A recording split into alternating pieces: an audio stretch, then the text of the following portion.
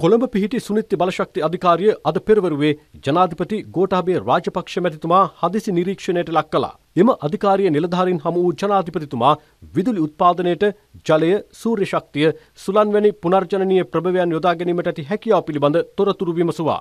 සෞභාග්‍ය දැක්ම ප්‍රතිපත්ති ප්‍රකාශයට අනුව දෙදහස් තිහ වන විට සියයට හැත්තෑවක් පුනර්ජනනීය බලශක්ති යොදා ගැනීම පිළිබඳ ක්‍රියාත්මක වැඩපිළිවෙලේ ප්‍රගතිය මෙහිදී ජනාධිපතිතුමා ඍජුවම නිලධාරීන්ගෙන් ප්‍රශ්න කළා. නීති පවතින්නේ දූෂණ සහ අක්‍රමිකතා මැඩ පැවැත්වීමට බව පෙන්වා දුන් ජනාධිපතිතුමා නිවැරදි දේ සිදු කිරීමේදී නීතිය බාධාවක් නොවන බවයි කියා සිටියේ.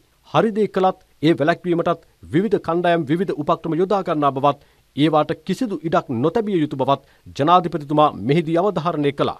අපිට ප්‍රශ්න වගේක් තියෙනවා රම්බපවණි මෙගෝට් 100න් ඒගොල්ලන්ට ඇත්තටම වාසියක් හම්බුන්නේ නැහැ කියන එක තමයි සර් මිනිසුන්ගේ හිතේ තියෙන්නේ. මේ ලෑන්ඩ් එක තාම අරගෙන නැද්ද? නෑ ගන්න පුළුවන් ආණ්ඩුවේ වනිසලා තියෙන ආණ්ඩුවේ ප්‍රයිවට් තියෙනවා. ප්‍රයිවට් එකක් තියෙනවා. ගන්න පුළුවන් සර් ගන්න කලින් අපි හරියට අඳුන ගන්න ඕන කොයි අපි දැන් අවුරුදු ගානක් තිස්සේ ඉඳගෙන අඳුර ගන්න අඳුර ගන්නවා. නෑ නෑ ඒක ඊට වඩා වැදගත් මේව කරන එක. මොකද මේකනේ අපිට most important එක.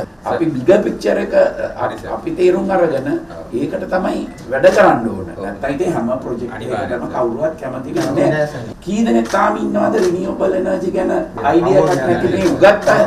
රටට අවශ්‍ය දේ බලලා ඒකට අවශ්‍ය දේ තමයි කරන්න ඕනේ. නිවාස ලක්ෂයක වහල මත සූර්ය පැනල සවිකිරීමේ ව්‍යාපෘතිය කඩිනම් කර එහි ප්‍රතිලාභ අඩු ආදායම්ලාබීන්ට සල්සන ලෙස රාජ්‍යමාත්‍ය දුමින්ද දිසානායකට මෙහිදී ජනාධිපතිතුමා උපදෙස් දුන්නා. ජෛව ස්කන්ධවලින් මෙගවුට් පනස් හතරක් කුඩා ජල ව්‍යාපෘතිවලින් මෙගවුට් හාරසී විසි නවයක් සූර්ය පැනලවලින් මෙගවුට් පන්සිය හයක් සුළම් බලයෙන් මෙගවුට් දෙසිය හතුලිස් නවයක් ලෙස ඉලක්කගත වැඩපිළිවෙලක් ක්‍රියාත්මක බවද සුනිත්‍ය බලශක්ති අධිකාරය නිලධාරයෙන් ජනාධිපතිතුමාට මෙහිදී පෙන්වා දුන්නා.